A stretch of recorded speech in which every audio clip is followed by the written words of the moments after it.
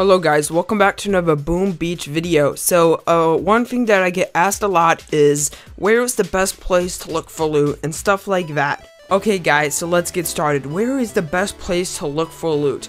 Now, granted, the higher you get, the more loot you will find, and the highest I've gotten was about 850, 850 medals. Um, that was a couple weeks ago. I started pushing for 800 and I got to 800 and it was awesome and I had like max loot all the time and that's when a lot of these questions arise.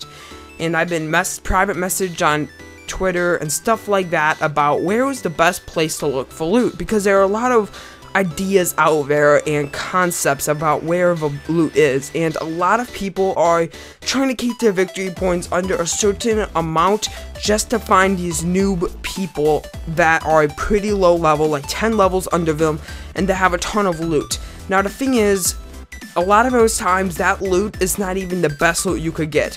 As I've moved up in medals and I came back to my second account, and as my second account is moving up to medals, I encounter a lot of people like this. Usually not at my level because about everyone on my level is anywhere from level 50 to 62. And I don't see a lot of 62s and I don't see a lot of 50s and maybe even one time, a couple times, a lot of times actually, but not it's not very often. It's okay, whatever. It, I I see some 40s and the thing is, the best place to look for loot is your designated medal account. Now I, I just made that up on the go. Designated medal count. Your designated medal count is the point where you start seeing a bunch of other levels around your level. There's always going to be some whales that are high or low, and a whale is just something that's so high above you, I guess. It's kind of like that. Um, but there's always going to be whales and you're either gonna you're not gonna be able to get like a perfect little community of all like within four levels of your within four levels and in, until you start getting up higher a higher medals okay so the best place to look for loot is high but like the highest you could go is the best place to look for loot. But that's not always the uh you can a lot of people can't get up that high. And a lot of you people that are having these questions are lower people struggling to get upgrades. And um, so for those people that are struggling struggling to get upgrades, I encourage you to try out new strategies and push for medals. Because the higher you get, the more loot you will find. Um, they're like at my level, about everybody has like 200,000 of each loot, or there'll be some ones that'll have like 500,000, there'll be some that have like 90,000 of each, but it's been a very, very long time since I had someone that was worth like nothing.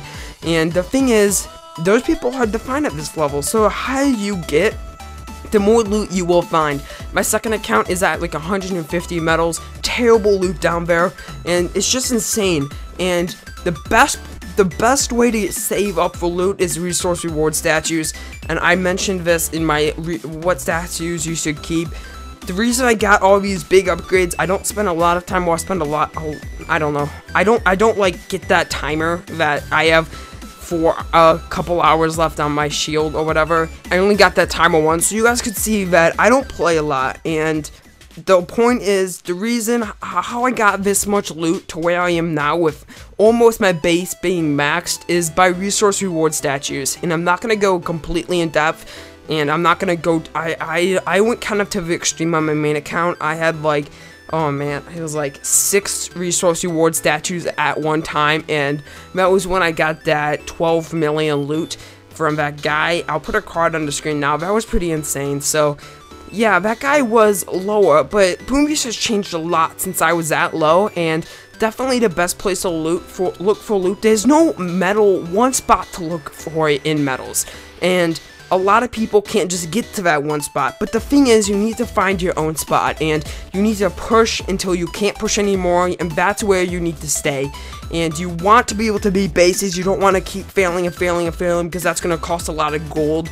And you just, you need to go up to the highest you can without failing each attack. And that's something that I see a lot of players struggle with in the Boom Beach community, and I thought I would try to clear this up for you guys in this video. Anyway, guys, if you liked the video, be sure to leave a like. If you are new to the channel, be sure to subscribe. I'll talk to you guys next time. Bye.